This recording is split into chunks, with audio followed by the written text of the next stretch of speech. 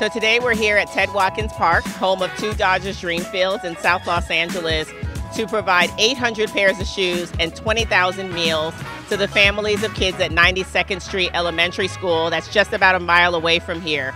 We partner with Shoes That Fit and, and Kershaw's Challenge because during this time, kids have, and families have expressed that shoes outside of food are one of the most needed items during this time.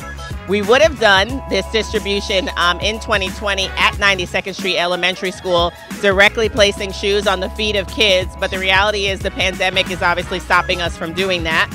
So we prepared a drive-through style event where families have sized their kids at home and um, are coming through today to actually pick up the shoes.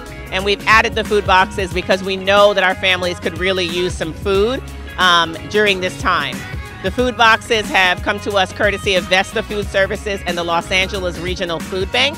And so we're happy to be able to provide produce and meats and eggs and, and other dairy products and pantry items that families obviously will be able to use um, over the next couple of days and weeks.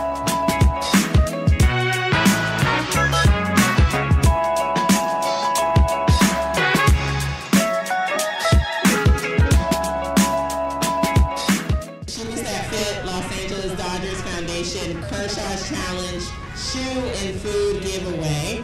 Um, this is our 11th drive-through event. Guys, this is Clayton and Ellen Kershaw here. and we are so excited to be partnering with Shoes That Fit and the LA Dodgers Foundation. Here at Kershaw's Challenge, we are in hoping and empowering you to use whatever God given abilities and talents you have to make a difference in this world. We hope that getting a new pair of shoes today gets you set off in the right direction.